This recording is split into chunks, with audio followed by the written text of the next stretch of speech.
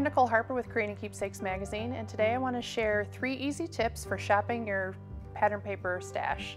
As scrapbookers, we all have little bits and pieces that we can't bear to part with, so what better way to put them to use than to help them find their way onto your pages?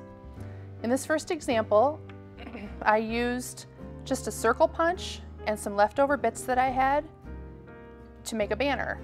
All you have to do after you punch out the circles is fold them in half over a piece of twine, staple them, and then repeat. After you do that, I just use glue dots to hold them down. If you have a little bit bigger pieces of scraps left over, here's how you can make a two-page layout.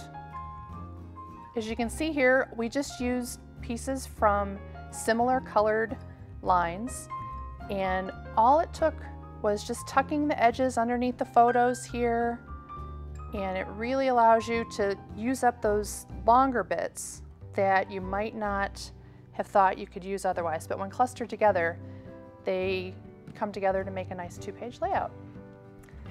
Then in our last example, who doesn't have bigger strips of paper left over?